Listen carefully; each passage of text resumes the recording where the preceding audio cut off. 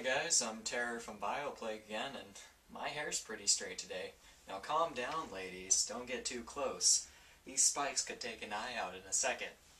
So keep your distance. And today I'm going to be doing a cover of one of my songs again. This one's Seize the Night.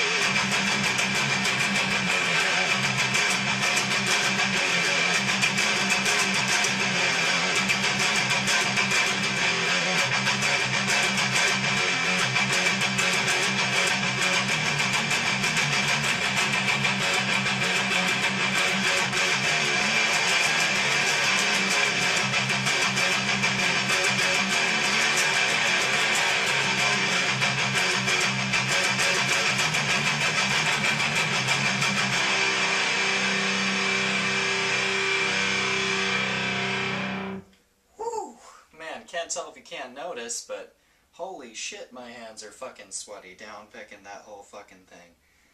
Like you can see on the back of the pick right here, the sweat engraved into the the back of my Hatebreed guitar pick. It's my favorite guitar pick, by the way, if you haven't noticed.